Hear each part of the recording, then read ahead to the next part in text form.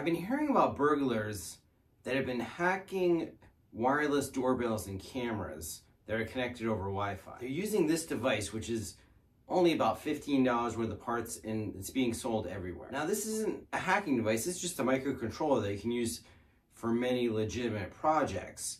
But the instructions to build this de-auth tool are out there and it's pretty easy to do for me at least. So once I built this, I wanted to test it against my Ring Video Doorbell 2.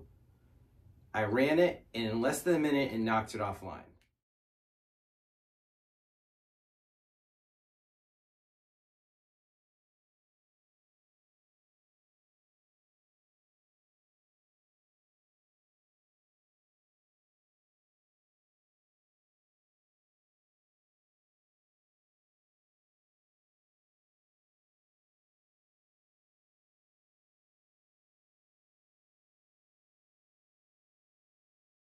Now what can you do to prevent this? Unfortunately, the Ring Video Doorbell 2 does not support 802.11w, which is protected management frames. If it did support that, then this attack would not be useful. Another option would be WPA3, which the Ring Video Doorbell 2 does not support. So if you have a Ring Video Doorbell 2 and you're worried about these kinds of attacks by burglars in your area, then the only thing you can do is to upgrade. The good thing is there's at least two low cost options.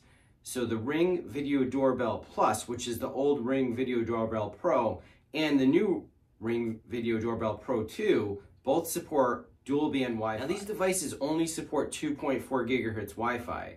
So if you have a dual band device, it's not going to be able to affect it. It's just going to shift to the other band. And I haven't been able to confirm it, but these newer devices should also support WPA3, and protected management frames. Unfortunately, a lot of these older devices are using just 2.4 gigahertz Wi-Fi because it's cheaper to implement. So a lot of the Wi-Fi security cameras are going to be hackable in the same way. So if this is happening in your area, I'll put a link below for the new Ring Video Doorbell Plus and the Ring Video Doorbell Pro. And there you go. Remember to like and subscribe for more videos on Wi-Fi and tech products.